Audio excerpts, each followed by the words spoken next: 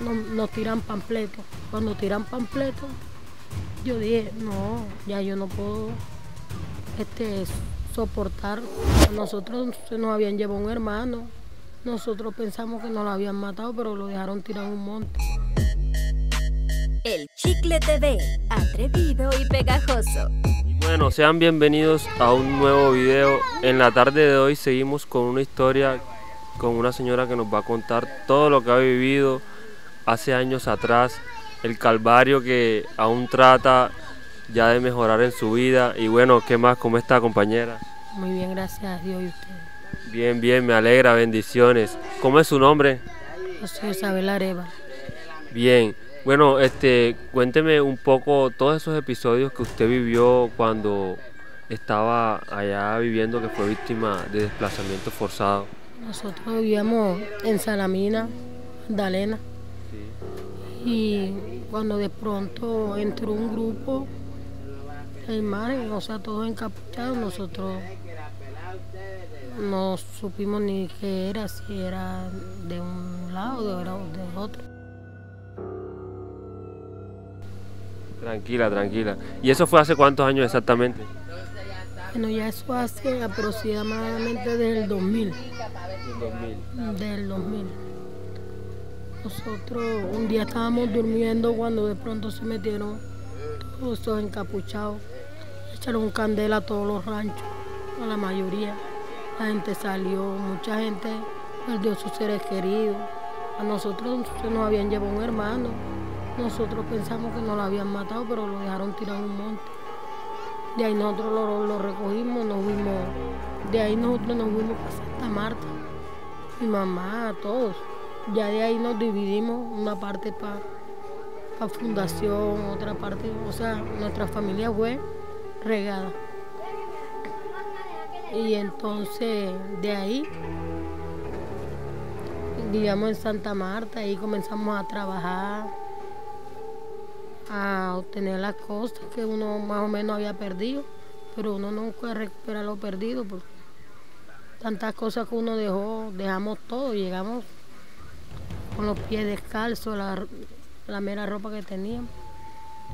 Bueno, ya de ahí comenzamos otra nueva vida, cuando de pronto el marido mío estaba trabajando en una empresa, nosotros nos, de- nos dedicamos a reciclar y esas cosas.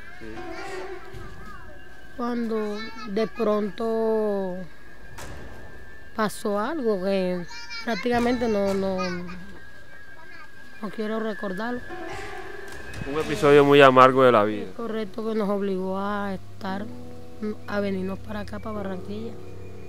Cuando venimos para Barranquilla me hizo recordar cuando nosotros fuimos desplazados, porque ese fue un segundo desplazamiento que nosotros tuvimos, porque hubo gente que nos hizo también abandonar la casa y a salir con las manos vacías.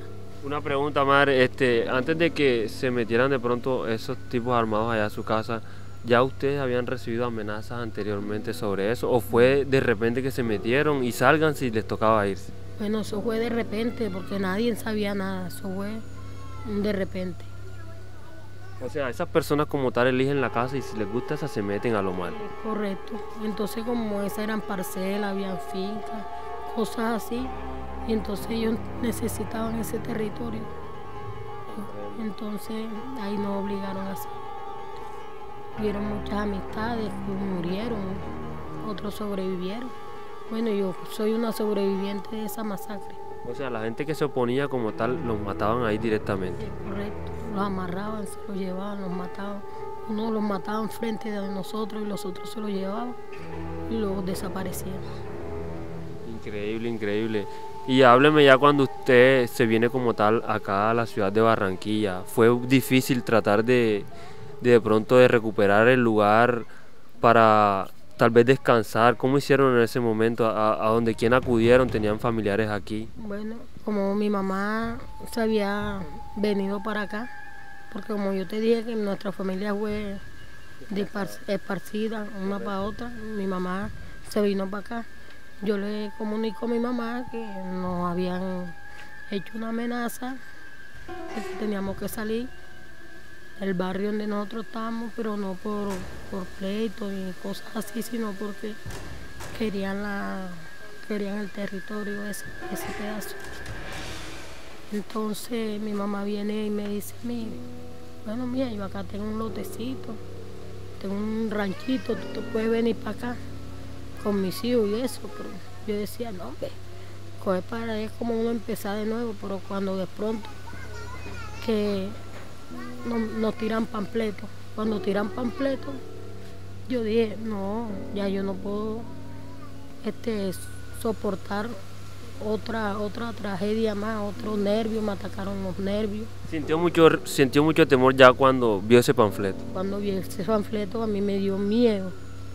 Entonces yo dije, no, primero es la vida de uno que las cosas materiales. Entonces, como a mí, hubieron otras personas que también desalojaron.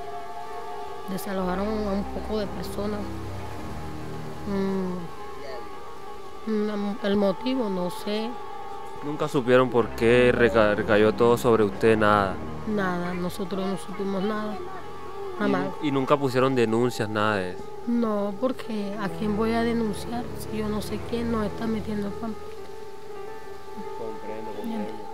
Madre, a todas esas personas que nos van a ver por ahí y quieran de pronto apoyarla con algo, ¿usted tiene algún contacto para que se comuniquen con usted, un número de teléfono?